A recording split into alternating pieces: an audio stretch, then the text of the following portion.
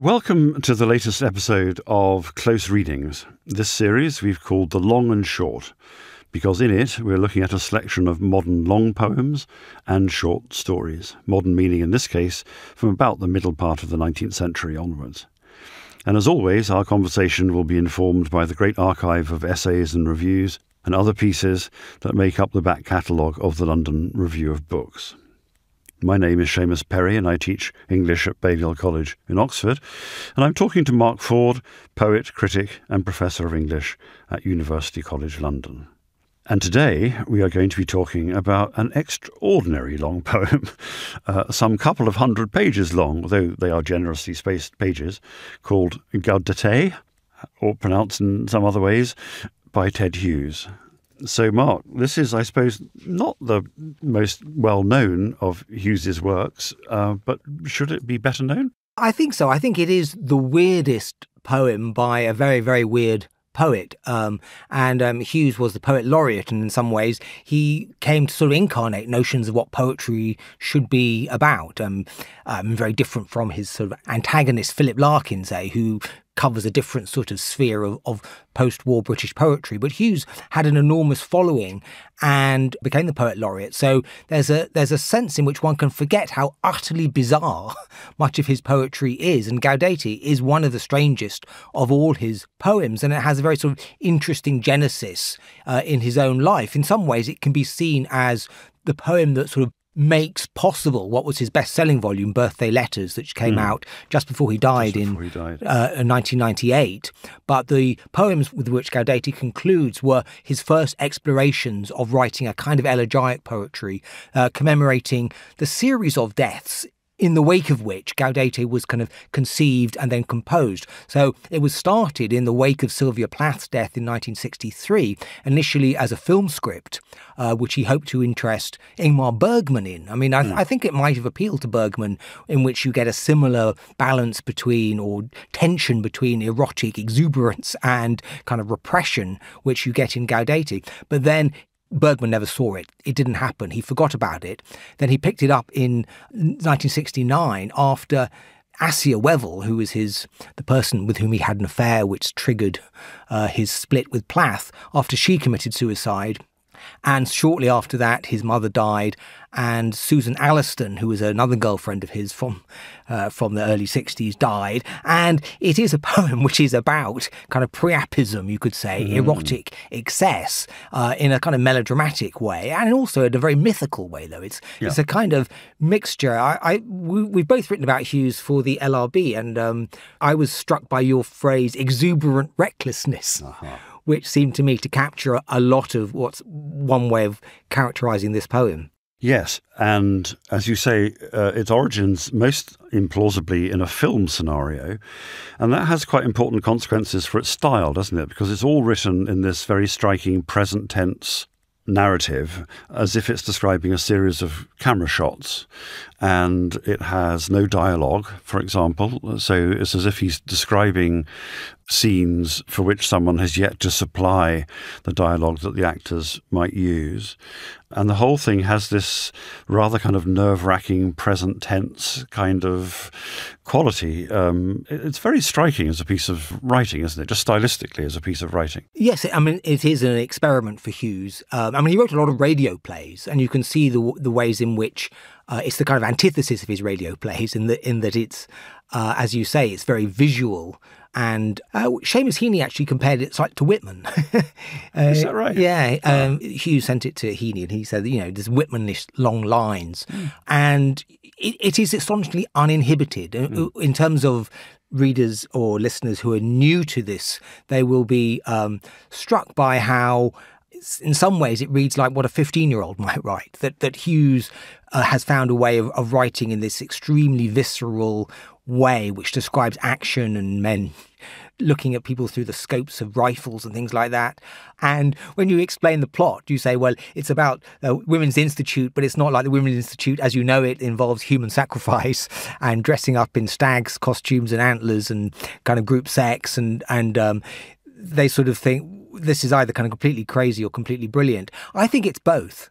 Um, I think, in an odd sort of way, the genre, if it can be that that, that Hughes invents for this, allowed him free access to the, his id, which he is never that kind of restrained. But it, he's moving on from Crow, uh, which came out in 1970, a kind of long, long poem, uh, which again is exploring in some ways the dreadfulness of modern civilization, which is again a, a, point that you make in your piece on on Hughes in the LRB, the extent to which his whole poetic oeuvre was a kind of attempt to dismantle the Enlightenment. That's a big, big project. Yeah. But the extent to which salvation, and in this he's following D.H. Lawrence, salvation requires somehow connecting with these primitive pagan energies and releasing them and somehow uniting the body and the soul, however that can be done. So to that extent, it, it, does belong to that line of English writing that goes back through Lawrence to Blake and to medieval writing as well, which celebrates a, a kind of paganism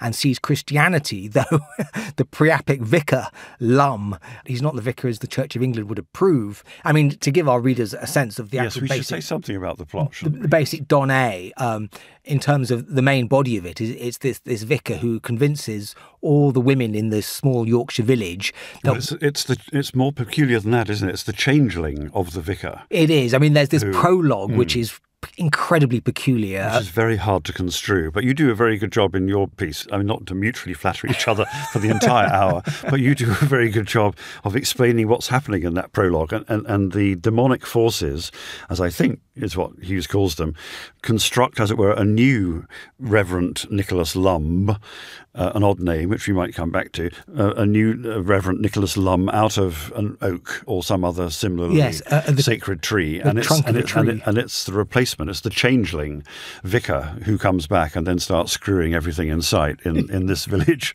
this rather well to do village by the sound of it. Uh, that's Yorkshire. a really important point that there are mm. two Lumbs, you know, there are, there are two of them, and this goes back to Hughes's own sense of doubleness, that, that he had a kind of doubled consciousness after the death of Plath, that somehow right. that he was divided or, or had become completely alienated from himself in some way. So the Lumb who, who has sex with all the women in the village is actually the changeling who is created by this log, oak log being whipped. Yeah.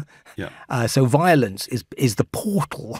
Yes. I mean, the violence actually also includes him standing under uh, a bull who has its um, belly ripped and all the innards plunge upon him and he fights in the kind of roping mess of blood. So the kind of initiation to reach the, the main body of the story is extremely violent and confusing and perplexing. And there's it's an apocalyptic scenario, lots of dead bodies everywhere. Yes, yes, the dead lying in the street, and for some un, unexplained historical reason.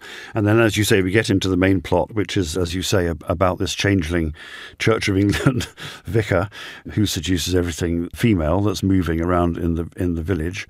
I mean, and also we should say, interspersed with this, there are weird phantasmagoric um, episodes, aren't there, where in one of them, for example, Lumb thinks that he meets uh, all of the women of the village buried up to their neck in mud um, around a crater into which he descends and, and fights a strange, horrific, bestial, furry creature uh, before coming back to uh, what you might think of as the real world again.